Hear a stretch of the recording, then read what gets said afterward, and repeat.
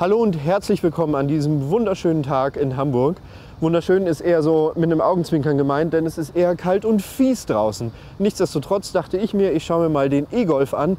E deswegen, weil er statt eines Benzinmotors einen Elektromotor hat. Wie sich das anfühlt und was er sonst noch so alles kann, das klärt jetzt der Test und es ist wirklich kalt, deswegen setze ich mich rein.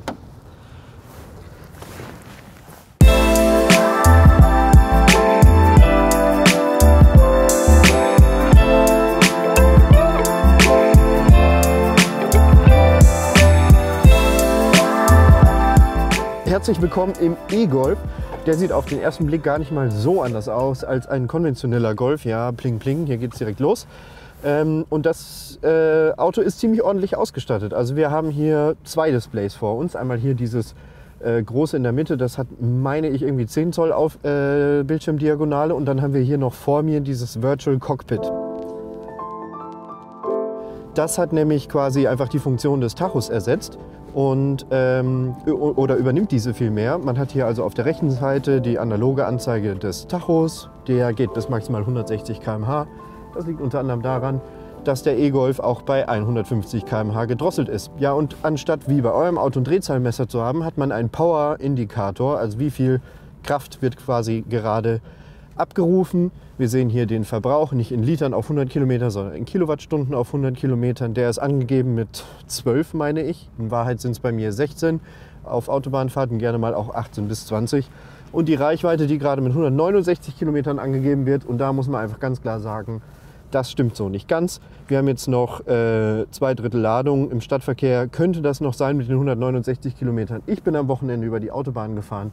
Da schrumpft die Reichweite dann ganz schnell auf 150. Zum Pendeln reicht das zwar, aber naja. Mein Lieblingsfeature am Virtual Cockpit ist hier eigentlich diese Möglichkeit, sich die Navikarte einblenden zu lassen, weil ich, während ich die Navikarte hier vor mir habe und mich navigieren lasse, dann die Mittelkonsole, also beziehungsweise vielmehr das Display in der Mittelkonsole für andere Dinge verwenden kann. Zum Beispiel für Apple CarPlay oder Android Auto. Ich habe dazu hier schon mal ein Android-Handy mitgenommen.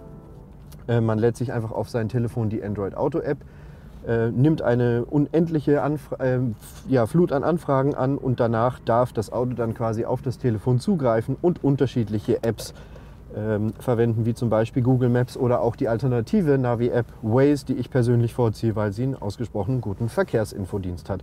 Ja, und bei Apple CarPlay ist eigentlich auch ganz schön. Wir haben hier in der Mittelkonsole dann ähm, eine deutlich angepasste Variante von Apple CarPlay, die wir so aus anderen Autos eigentlich bislang noch nicht kannten. Das heißt, wir haben hier relativ viele Symbole. Es sieht sehr schick aus. Es ist alles äh, äh, schwarz mit bunten Symbolen. Das sieht alles sehr knackig und scharf aus, so wie eben das ganze Display ist. Das wird nicht so ganz ausgenutzt, wenn man wirklich sich mit diesem Discover Pro, so heißt dieses Navi-System, dann mal auseinandersetzt. Denn hier dieses Hauptmenü, das sieht dann doch irgendwie sehr trist aus. Und ich muss sagen, es sieht nicht nur trist aus. Auch während der Fahrt habe ich festgestellt, es ist relativ schwierig, bei acht völlig identisch aussehenden Knöpfen mit ein bisschen Text irgendeine Unterscheidung festzustellen. Das heißt, man fährt durch die Gegend und sucht dann, was war denn jetzt nochmal der Navi-Knopf. Da könnte man nochmal ein bisschen Hand anlegen. Das gilt im Übrigen auch für die absolut bescheuerte Sprachsteuerung, ähm, die einfach überhaupt nicht zu verwenden ist und äh, einfachste Aufgaben wie zum Beispiel einen Senderwechsel oder das Eingeben von Navi-Zielen sehr, sehr häufig nicht oder sehr schlecht ausführt. Ähm, die brauche ich deswegen gar nicht erst vorstellen, weil ähm, die kann man sich auch einfach sparen. Was wiederum sehr, sehr toll ist, ist, dass in diesem Auto das, äh, die Funktion CarNet eingebaut ist. CarNet besteht aus mehreren Sachen.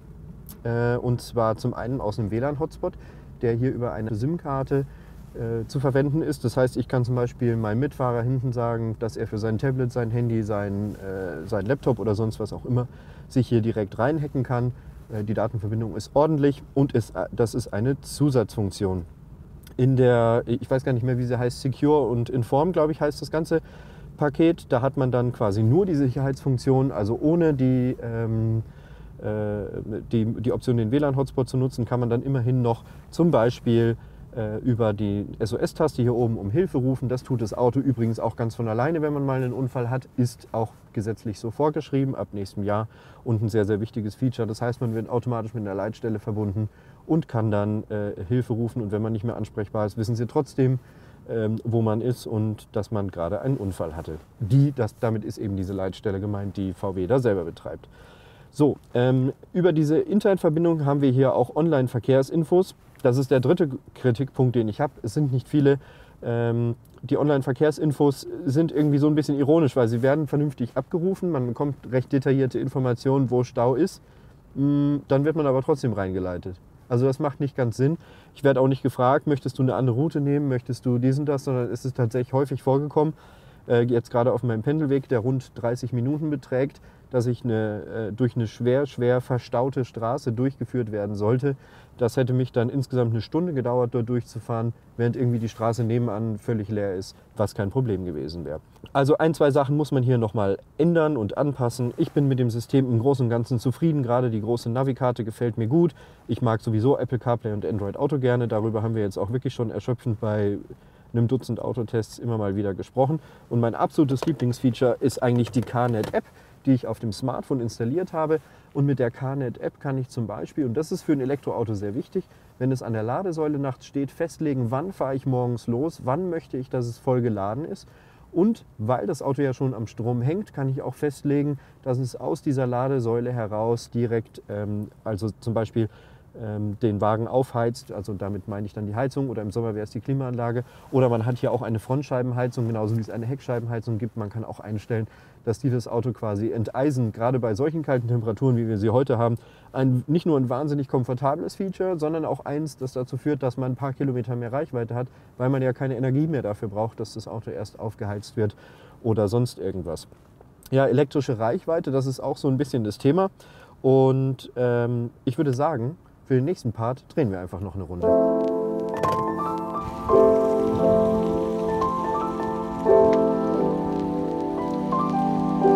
Ja, herzlich willkommen auf dem Beifahrersitz des E-Golf. Wir drehen doch direkt mal eine Runde und wie man schon hört, man hört eigentlich fast nichts.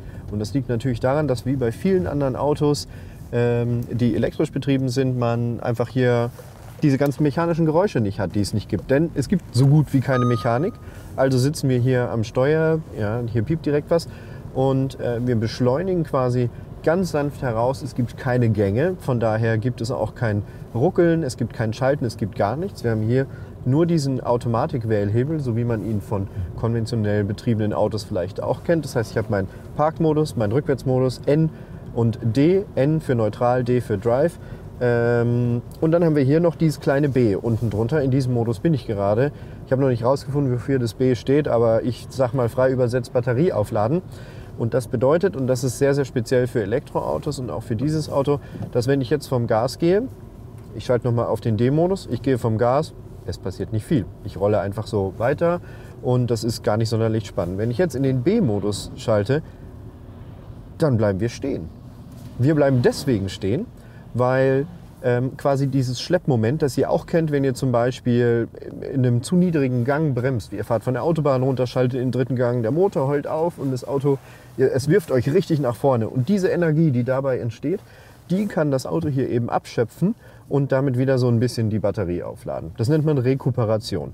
Und dann fährt man hier äh, durch die Gegend. Und das Ziel eines jeden Elektroautofahrers, wenn ihr einen seht, ähm, ist deshalb, dass er quasi sein Bremspedal gar nicht verwendet. Eine vorausschauende Fahrweise braucht man dafür. Man dosiert eigentlich nur die ganze Zeit das Gaspedal. Jetzt hier zum Beispiel sind wir in so einer Stausituation. Ähm, ich gehe vom, äh, gerade wirklich vom Gaspedal nur ein bisschen runter. Ich bremse nicht, ich bremse nicht, ich bremse nicht und erst bei 3 km/h bremse ich überhaupt, um dann letztendlich wirklich stehen zu bleiben. Also das ist so der größte Unterschied, ähm, wenn man ein Elektroauto fährt und auch wenn man diesen E-Golf fährt. Ich mag es wahnsinnig gern, man gewöhnt sich daran. Es wird wirklich ein Spiel das genauso zu timen, dass man quasi aus äh, dem Betrieb dann ja, an der Ampel sozusagen stehen bleibt, ohne einmal die Bremse zu verwenden. Und ähm, ja, letztendlich spart es Elektroautofahrer Wartungskosten, weil sie wahrscheinlich wesentlich seltener ihre Bremsen wechseln müssen, als ihr das müsst oder als auch ich das bei meinem Auto muss. Hier haben wir übrigens neben diesem Automatik-Wählhebel einen Knopf, der ist auch ganz wichtig. Der ist jetzt gerade auf weiß, also auf aus. Ich drücke den jetzt mal. Hören werdet ihr immer noch nicht viel, aber es gibt an der Außenseite Lautsprecher, die erzeugen ein ganz leises Brummen. Man hört es kaum. Man hört es eigentlich gar nicht, wahrscheinlich hört ihr es gar nicht. Ähm, man hört es wirklich kaum. Und dieses leise Brummen, das ist fast UFO-mäßig. Also bei dem Hyundai Ioniq, den wir kürzlich getestet haben, habe ich es als UFO-mäßig bezeichnet. Und äh, wenn man dann unterwegs ist, dann wird man gerade so in Tiefgaragen oder wenn man einparkt oder so, wird man einfach etwas besser gehört. Weil Elektroautos sind halt vollkommen lautlos. Menschen erschrecken sich, weil wir alle darauf konditioniert wurden irgendwie in den letzten Jahrzehnten, dass wir, wenn wir über die Straße gehen, nicht wirklich gut gucken, sondern halt auch noch ein bisschen hören und ja, dann beide Sinne zusammengerechnet ergibt dann, aha, da kommt ein Auto, äh, ich bleibe besser stehen. Aber wenn jetzt natürlich das Auto gar kein Geräusch macht, dann kann ich es nicht hören. Und dann bleibt ihr nicht stehen und ich fahre euch über den Haufen. Und das ist nicht das Ziel. Darum gibt es hier diesen Knopf. Ähm, der macht diesen Sound bis ca. 50 km/h, danach ist Schluss. Äh, danach braucht man ihn nicht mehr. Dann gibt es ja auch Reifengeräusche. Danach ähm, gibt es eigentlich auch kaum noch gefährliche Situationen mit Fußgängern, würde ich mal so behaupten. Und ähm, ja, wir fahren jetzt auf die Autobahn. Wie bei jedem anderen Elektroauto drückt man aufs Gas und dann ist man auf der Autobahn. Äh, warum wir auf die Autobahn fahren, will ich euch auch noch kurz zeigen. Wir haben nämlich hier an der linken Lenkradseite haben wir eine ganze Reihe an Knöpfen. Und äh, die ist dafür da, dass wir den Tempomat einstellen. Auch den gibt es bei vielen anderen Autos. Und dieser E-Golf hier hat äh, einen Tempomat, der ähm, äh, sich natürlich auch stufenweise feststellen lässt. Und dann habe ich hier in der Mitte noch diesen Knopf und dann sage ich, ich möchte wenig, mittel, viel Abstand zum Vordermann haben. Das heißt, wir haben hier äh, ACC, also die automatische äh, Abstandskontrolle, äh, die automatische Cruise Control ähm, an Bord. Und man sieht hier vielleicht ganz klein diese grünen Symbole. Das äh, linke grüne Symbol heißt quasi, er erkennt auch die Fahrspur. Das heißt, er weiß, ob ich gerade ähm, mich in der Fahrspur befinde oder nicht. Ich habe jetzt mal äh, warte jetzt mal ganz kurz eine leichtere Situation ab. So, jetzt fahre ich an die Linie und er lenkt wirklich aktiv dagegen. Also ich brauche relativ viel Kraft, um jetzt ähm, wirklich gewollt über diese Linie zu fahren. Ähm, er hat also auch einen Spurhalteassistenten mit einem aktiven Eingriff. Ähm, plus, ich habe den Tempomat auf 100 km/h gestellt. Der vor uns fährt jetzt aber nur 80. Er hat jetzt eben von alleine gebremst. Und jetzt kommt's. Wenn beide Systeme zusammenkommen, dann haben wir ein autonomes Auto. Und zwar nicht auf Level 5, so dass es irgendwie bedeutet, ich steige in der Überseeallee bei uns bei Computerbild ins Auto und fahre zu meiner Familie nach Bayern und muss gar nichts machen, sondern hier sehen wir schon, äh, es kommt regelmäßig auch eine Warnung, ich soll bitte wieder übernehmen. Das liegt nicht unbedingt nur daran, dass die Technik noch nicht ausgereift ist, sondern es liegt vor allem auch daran, dass ähm, schlicht und ergreifend, das war der erste Warnton, der zweite ist dann schon ein bisschen fieser. Äh, das liegt vor allem auch daran, dass wir ähm, äh, es nicht dürfen. Das heißt, wir haben bislang keine gesetzliche Grundlage in Deutschland, um Autos über längere Zeit in einem automatisierten Betrieb fahren zu dürfen. Ähm, und darum kommt dann hier eben die Warnung. Im nächsten Schritt kommt eine sehr laute Warnung. Ähm, die könnten wir uns noch anhören. Müssen wir mal ganz kurz gucken. Die müsste jetzt gleich eigentlich kommen. Einen Augenblick.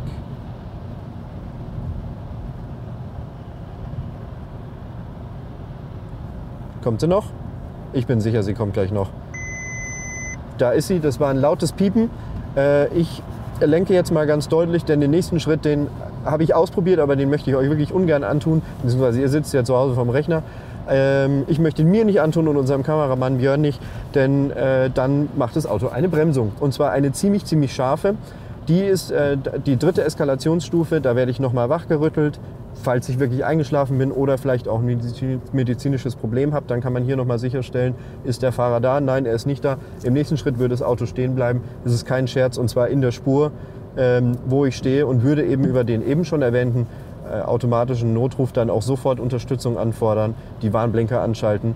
Volles Programm. Äh, es gibt von VW übrigens bereits in der nächsten Ausbaustufe davon, im Atheon meine ich, ist es so dass der Wagen nicht nur in der eigenen Spur stehen bleibt, sondern wenn ich wie hier auf der Autobahn zum Beispiel fahre äh, und in so eine Situation gerate, dann äh, würde der Wagen quasi rechts ranfahren und dann erst den Notruf rufen. Eine deutlich wahrscheinlich sinnvollere Variante. So, ich gucke hier nervös nach rechts, weil wir haben einen Totwinkelwarner. Den könnten wir noch mal ganz kurz zeigen. Äh, das ist ein gelbes Symbol, das jetzt gleich verschwindet, aber gleich wieder auftaucht, wenn der nächste kommt. Äh, und dieser Totwinkelwarner, der sagt mir quasi, aha, da ist jemand, äh, bitte jetzt nicht rüberfahren, jetzt ist das Symbol weg, jetzt bin ich deswegen rübergefahren, alles kein Problem also. Ähm, jetzt sind wir in der perfekten Situation. Wir sind hier auf der Autobahn, wenn ihr mal nach gerade schauen wollt. Wir haben hier äh, äh so einen kleinen Stau vor uns. Mein Tempomat ist immer noch auf 100 eingestellt. Ich fahre gerade 30 km/h. Ich darf jetzt übrigens auch äh, völlig problemlos die Hände vom Steuer nehmen und darf das Ganze aussitzen. Ähm, oder auch nicht, das Auto warnt trotzdem. Und ich bekomme hier also meine Lenkunterstützung. Ähm, der Wagen gibt von alleine Gas, bremst von alleine und weil es ein Elektroauto ist, macht das eben tatsächlich auch relativ viel Spaß. So, jetzt haben wir euch also mal ganz kurz die Assistenzsysteme gezeigt. Ähm, ziemlich umfassend sogar. Alleine einparken kann er auch. Dafür gibt es hier noch einen kleinen Knopf. Das zeigen wir euch jetzt heute nicht. Das habt ihr vielleicht schon mal selber ausprobieren können. Ich weiß es nicht. Ähm, haben aber auch viele andere Autos. Und das äh, ist eine, ein Einparkassistent, bei dem ich noch im Auto sitzen bleibe. Nicht so wie in unserem Audi A8-Video einer, wo ich aussteigen kann und das Ganze dann per Smartphone triggere. Das ist sicherlich die nächste Stufe im Golf 8, 9, 10, 11. Ähm, so, wir müssen jetzt demnächst laden, also nicht wirklich, aber wir haben noch zwei Drittel Akku. Ich will euch unbedingt zeigen, wie man lädt und dann melden wir uns gleich nochmal zurück. So, ich habe jetzt hier eingeparkt. Ich habe einen Parkplatz an einer Ladesäule gefunden. Auch das ist in Hamburg nicht immer so einfach, weil ständig irgendjemand, wie zum Beispiel dieser Drive Now, äh, auf diesen Parkplätzen illegal parkt. Nichtsdestotrotz, einen Parkplatz haben wir. Ich hole mal ganz schnell ein Ladekabel, um euch zu zeigen, wie das Ganze funktioniert. Das ist bei jedem Elektroauto im Kofferraum. Es gibt unterschiedliche Typen von Ladekabeln. Wir haben hier ein sogenanntes Typ 2 Ladekabel. Das ist äh, dafür gut, dass man zum Beispiel in rund fünf Stunden sein Auto wieder volllädt. Da bin ich wieder, falls ihr euch gewundert habt, wo ich bleibe. Das andere Ende steckt schon im Auto. Und äh, ich habe hier so einen Chip an meinem Schlüssel. Den halte ich einmal dagegen, gegen die Ladesäule, gegen einen RFID-Scanner. Es gibt auch Ladesäulen wie zum Beispiel die von Innogy. Die haben kein RFID, sondern zum Beispiel dann einen QR-Code. Ähm, stattdessen kann man dann zum Beispiel sich über eine App einloggen. Ich nutze als äh, Anbieter Plugsurfing. Die haben eben auch die passende App. So, und nachdem hier die Kundendaten geprüft wurden, kann es direkt losgehen. Man steckt das Ende ein. Die Anmeldung war erfolgreich. Äh, hier wird es direkt grün. Ich sehe, guten Tag, Fahrzeug wird geladen. Und das war's. So schwer war das nicht. Man nimmt einfach das Kabel, steckt es ein, anderes Ende rein, fertig. Und wenn man fertig ist, ähm, ist es eigentlich ganz praktisch. Man sperrt den Golf einfach nur wieder auf, dann werden hier die Anschlüsse wieder freigelegt. Die sind nämlich jetzt verriegelt und dann kann man in der Zwischenzeit äh, zum Beispiel auch nicht das Kabel gestohlen bekommen. So.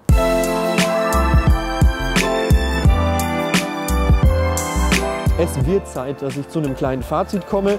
Jetzt, wo wir hier schon so schön äh, stehen und laden, ähm, ich habe zwei, drei negative Sachen zum Connectivity-System gesagt. Tatsächlich nerven mich eigentlich vor allem die Verkehrsinfos und das Hauptmenü ein bisschen. Daran könnte man noch ein bisschen arbeiten. Ansonsten ein solides äh, System, dieses Discover Pro. Ich kann es jedem nur ans Herz legen. Ähm, das Virtual Cockpit kann man ruhig auch dazu bestellen. Ist nämlich auch eine schöne Angelegenheit mit diesen digitalen Displays.